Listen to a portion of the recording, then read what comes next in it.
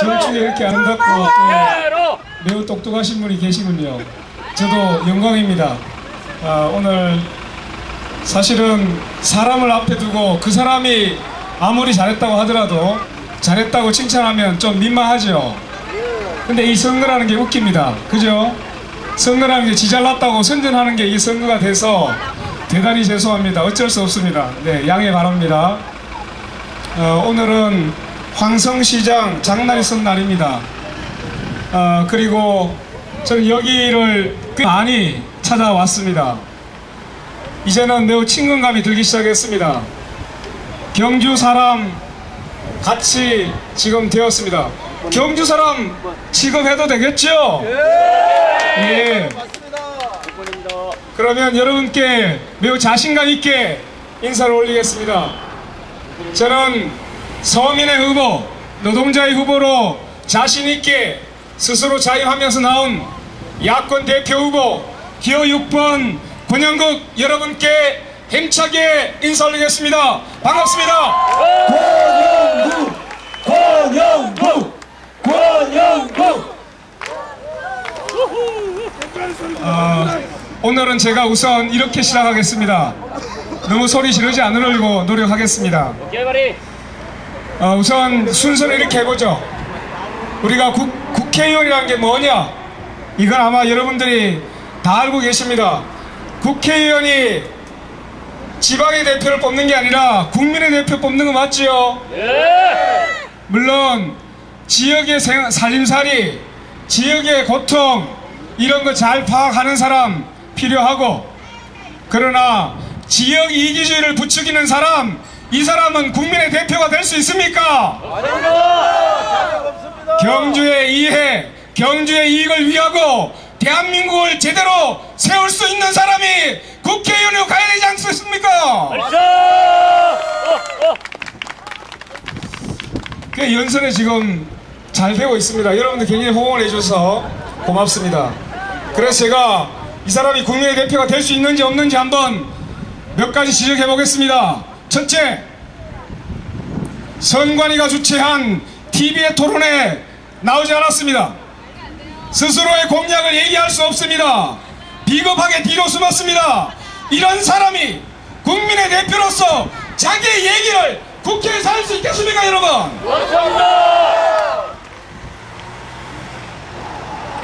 국회란 뭐 하는 곳입니까? 국회란 올바른 법을 만들고 서민들을 위한 법을 만들어야 됩니다. 그런데 이분은 106쪽짜리 석사 논문 쓰면서 78쪽을 남의 거 뺏겼습니다.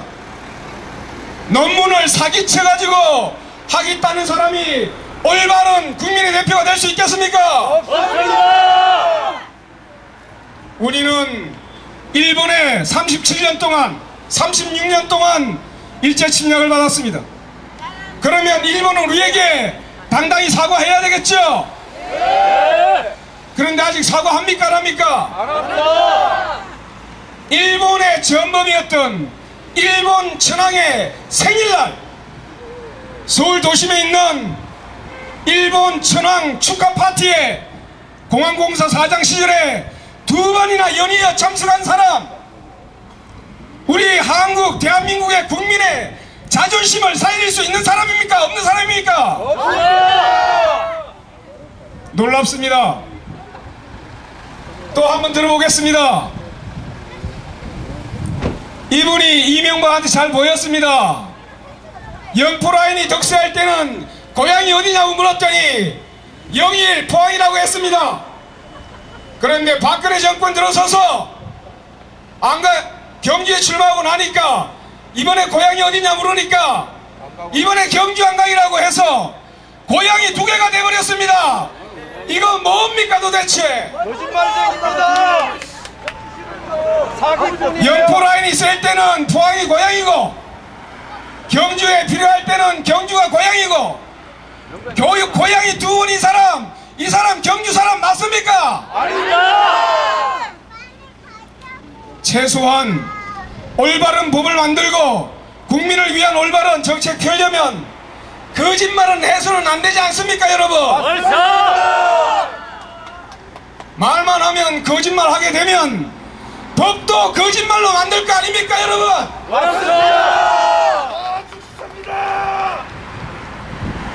논문 표절하면 어떻게 됩니까? 지난 19대 총선에 우리나라 다 알고 있지요? 태권도 금메달 리스트 문대성 국회의원 당선됐다가 논문 표절했다는 이유로 당에서 쫓겨나지 않았습니까? 맞습니다. 그럼 이번에 논문 표절을 106쪽 중에 78쪽 했으면 3분의 1을 뺏겼는데 이런 사람 자격 있습니까? 없습니까? 없습니다. 사퇴해야 됩니다. 자 제대로 보고 합시다 구속시켜야 됩니다. 벌써 저는 사람 싫어할 생각 없습니다. 그러나 적어도 또 국민의 대표로 나가서 거짓말하고 서민 정치는 법 만들고 이게 서민을 위한 법이다. 이게 서민을 위한 정책이다. 그렇게 거짓말하면 우리 서민은 어떻게 됩니까? 지금 대구에 가보십시오. 지지도가 떨어지고 있습니다. 진박이냐 친박이냐 대통령의 눈밖에 났느냐 안 났느냐 해가지고 유성민이 악수도 안 하고 쌩까버리고 합니다 대통령이 이렇게 하면 안 되겠지만은 그래서 지금 대구에서 민심의 변화가 일어났잖아요 맞지요? 맞습니다. 우리 대구 민심 우리 대구 시민을 바보로 하냐 사람을 죽이는 작전을 지휘해놓고 무전기를 꺼놨다. 나는 작전을 지휘한 바가 없다. 거짓말 하다가 나중에 무전기에 녹취록이 나오고 작전 지시 계획서에 자기의 사인한 것이 나오고 계속적으로 사람을 죽여놓고 자기가 지휘한 바가 없다고 거짓말하는. 그리고 이 경주에 내려와서는 나는 정당한 법 집행했다고 이렇게 뻔뻔스럽게 영산 잠사 유가족에게 두 번이나 대못을 박아버리는 이렇게 하면 안 됩니다 맞습니다. 안 됩니다. 뭐부터 해야 됩니까? 잡아야 됩니다. 잡아야 됩니다. 경찰은 국민의 생명을 보호해야 할 의무가 있습니다.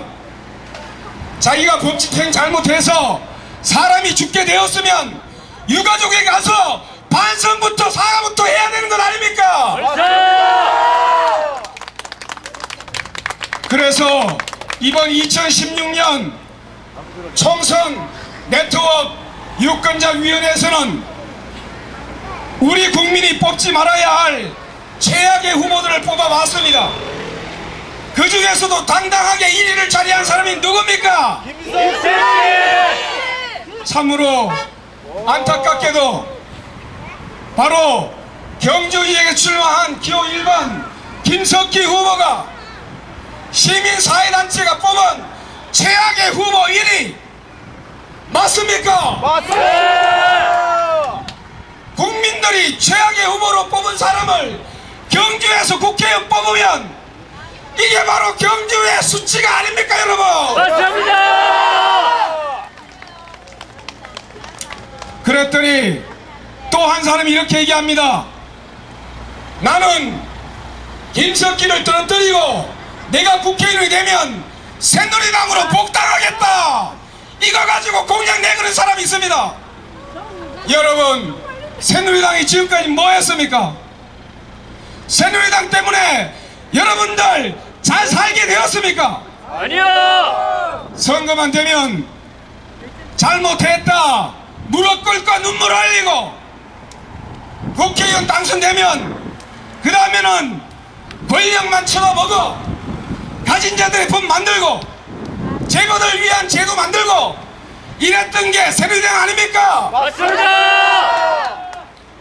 그런데 그 당으로 복당할 테니 나를 찍어주시오 라고 하는 사람이 있습니다 예, 예, 예. 이게 경주의 대안이 될 수 있습니까 없습니까 여러분 없습니다. 없습니다. 경주 시민 여러분, 우리 인정의 약한 사- 구- 민족 맞습니다. 그런데 내 등에 비수를 꽂는 사람을 국민의 대표로 뽑아서는 안 되지 않습니까 여러분? 벌써! 저는 제가 아까 잠깐 민망하다 그랬습니다. 제가 제 자랑을 하게 되면 절마 돌았나 이렇게 얘기하는 거 아닙니까 그래서 제가 어쩔 수 없다고 했습니다. 괜찮습니다. 국회의원 선거란 선거라는 것이 지 잘났다고 지 정체를 드러내는 것 아닙니까? 맞습니다. 지 정체를 드러내서 시민 여러분의 국민 여러분의 심판을 받는 것이 정당한 선거 아닙니까? 맞습니다. 그래서 저는 저의 정체를 끊임없이 드러내고 있습니다. 제가 20대 중반에 풍산금속 한강공장에서 근로조건 개선하기 위해 노동조합 만들려고 했다.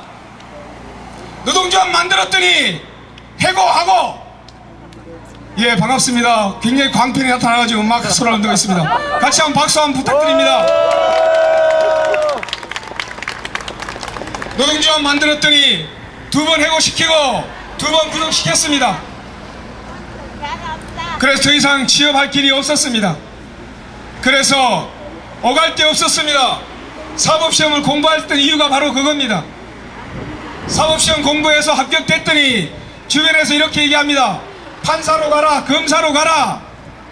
야, 집안의 영광이다. 좀 좋은 자리 가라. 저는 사법시험 공부할 때 제가 한 번 배불리려고 공부한 거 아닙니다. 왜냐하면 배운 사람들이 이 나라를 위해서 자신의 지식을 제대로 써야 이 나라가 제대로 돼가지 않겠습니까? 벌써 판사 됐다고 검사 됐다고 지 배만 불리면 그래서 우리나라가 잘못되어 가고 있는 거 아닙니까? 맞습니다 저는 이제 14년의 변호사 생활을 했습니다.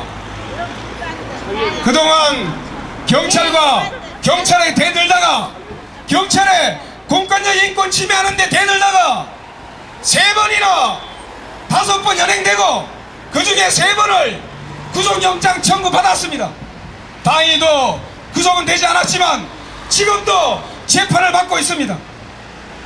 이 나라 민주주의가 대통령 한마디에 풍전등화 위기에 와 있지 않습니까? 대통령의 말이 법이 되고 국회의원들이 제멋대로 하고 우리 국민들이 어쩌지를 못하는 이 답답한 현실에서 저는 인권 변호사로서 공권력하고 싸웠습니다. 이것이 잘못된 거 잘못된 겁니까? 아닙니다 잘했습니다 그래서 이렇게 얘기합니다. 저는 권력을 탐하는 정치인이 되지 않겠습니다. 저는 노동자, 서민의 편에 서서 권력에 맞서는 권력에 맞짱뜨는 정의로운 정치인이 되겠습니다, 여러분.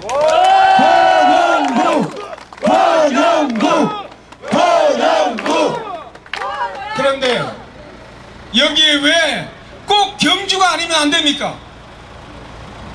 저는 50여일 동안 짧은 기간이었지만 경주 곳곳을 돌아다녔습니다. 그런데 국회의원이 새누리당이 있었지만 경주 지역 변두리에 찾아오는 국회의원 없었다고 저한테 비난을 가했습니다. 도대체 국회의원 되면 뭐하냐? 선거 때문에 와서 잘해달라고 부탁한다고 해놓고 선거 끝나면 쌩 까고 우리 한 번도 찾아온 적 없지 않느냐? 이렇게 비난을 받았습니다. 저는 억울했습니다. 저 한번 국회의원 시켜놓고 그런 비난하면 제가 받을 수도 있지요. 예 근데 제가 국회의원도 안 됐는데 어쩌란 말입니까? 맞습니다 그래서 제가 말씀드립니다. 이번에 한번 제대로 된 국회의원 기호 6번 권영구 한번 뽑아줘 보이소. 정말 제대로 해보고 싶습니다.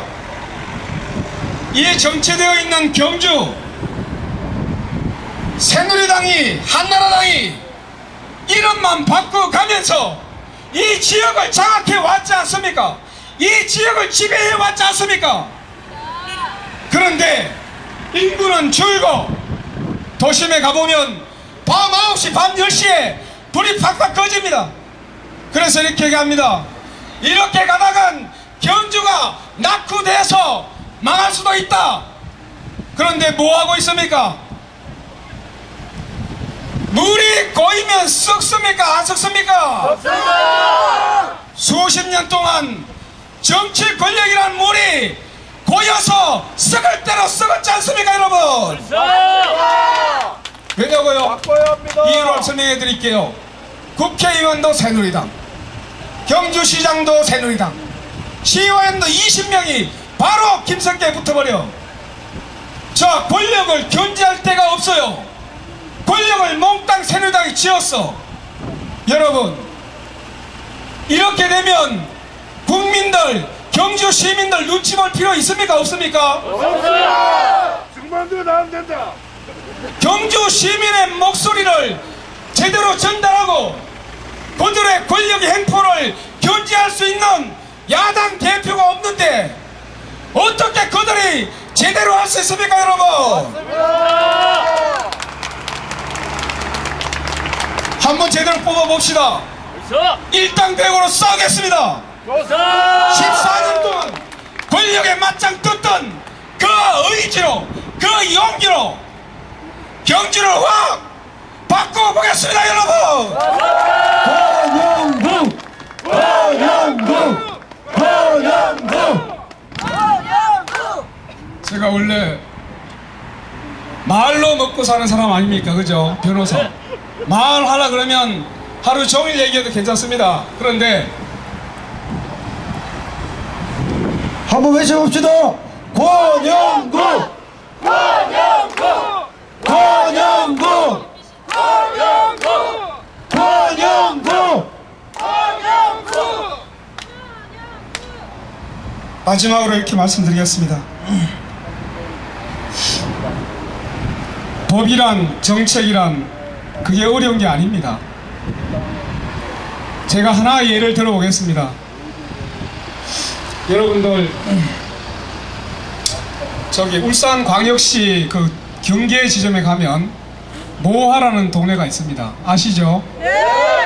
예, 그쪽을 제가 갔습니다. 그리고 그 아파트에 슈퍼맥 작은 이제 옛날처럼 하면 점포 뭐 가게 이런 거죠 들어가서 어, 악수를 하고 그냥 나오기가 참 민망해서 물어봤습니다. 그래서 제가 국회의원으로 출마하는 사람 아닙니까? 그래서 이 지역에서 가장 힘든 게 뭔지 애로사항을 한두 가지만 들려주시면 제가 그 얘기를 한번 들어보겠습니다. 라고 청했습니다. 그랬더니 그분 하는 말이 참 소박했습니다. 첫째, 가로등이 없어서 가로등 하나 놔달라고 했는데 지금까지도 안 놔주고 있다. 둘째, 울산에서 아파트 들어오는 끝까진 길이 완전히 90도입니다. 90도가 되다 보니까 사각지대가 생겼습니다. 종종 차 사고가 나서 사람이 다치고 매우 위험해진답니다. 그래서 그 90도 돼 있는 길을 좀 라운드를 지어서 사람들 좀 보게 해달라. 이게 애로 사회였습니다, 여러분. 이게 바로 정치 아닙니까? 맞습니다. 그분들이 어려운 건 사소하지만 그렇게 들어줘야 되는 게 돈이 꼭 들어가야만 정치 잘하는 게 아니고 그 사람들이 무엇을 앓고 있는지 그거 제대로 볼 수 있어야 되는 거 아닙니까 여러분 맞습니다. 가장 훌륭한 변호사는 의뢰인의 얘기를 가장 잘 들어주는 사람이 가장 훌륭한 변호사라고 했습니다. 저는 똑같다고 생각합니다. 가장 훌륭한 정치인은 위의 권력을 보는 것이 아니라 아래로 자신들이 뽑아준 그 시민의 목소리를 가장 잘 듣는 사람이 가장 훌륭한 정치인이라고 생각하는데 여러분 동의하십니까? 권영 구! 권영구! 권영구! 원래 이렇게 해야 됩니다. 요새도 이렇게 해야 같이 하고 싶어요. 서로 치고받고 네가 맞냐 안 맞냐 이 검증 받아야 되는 거 아닙니까? 맞습니다. 맨날 무슨 건물 건립하고 뭐 유치하고 도로 닦고 그거 누구 도로 하는 거예요? 내가 내가 가지고 지도를 하나?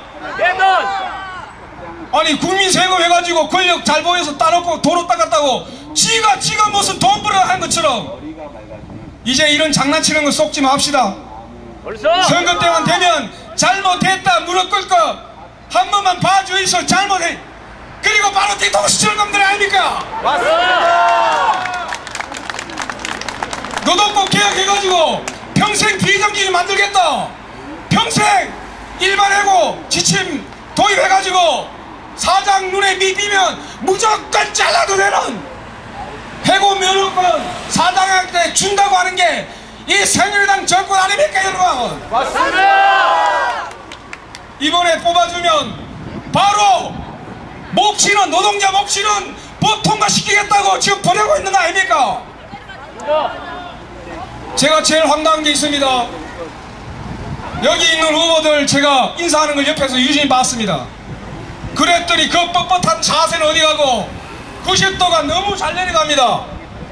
저는 그거 잘 못해서 지금 욕 많이 들어 먹습니다. 사람이 왜 이렇게 뻣뻣해? 인사 한 번 하면 한 표가 들어오는 왜 못해? 선거가 구걸하는 겁니까? 선, 선, 선거가 무슨 거짓 경진대 하는 겁니까? 아니지 않습니까? 그죠? 이번에 똑바로 보- 똑바로 해봅시다. 정말로 그 사람 제대로 자질 있고 용기 있는지 한번 봅시다. 그렇게 해서 저 경주 한번 바꾸고 싶습니다. 그렇게 해서 대한민국 좀 바꾸고 싶습니다. 그래서 땀 흘려 일하는 사람이 정말로 행복한 대한민국 만들고 싶습니다. 동의하십니까?